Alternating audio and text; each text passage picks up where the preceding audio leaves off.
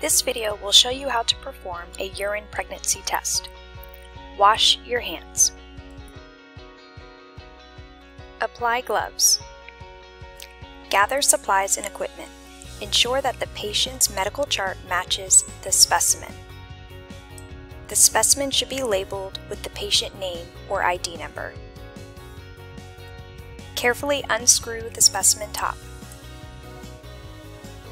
Place the patient's urine on the test chamber following the manufacturer's directions. Place the lid back onto the specimen cup.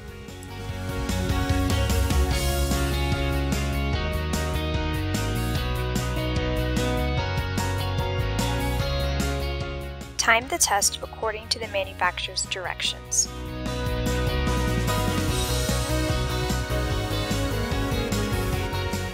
Interpret results correctly. As you can see, there are two lines on this test. One is next to the letter C for control, the other is next to the letter T for test. The control line should always be present.